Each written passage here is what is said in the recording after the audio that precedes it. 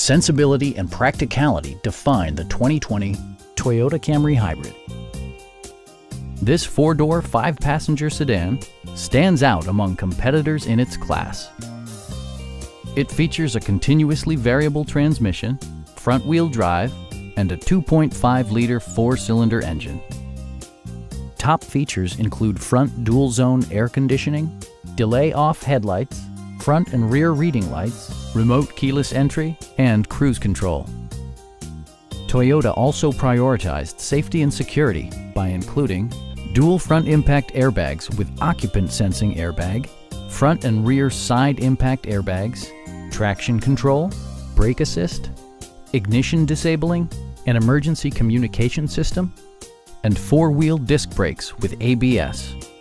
This car was designed with safety in mind, allowing you to drive with even greater assurance. Please don't hesitate to give us a call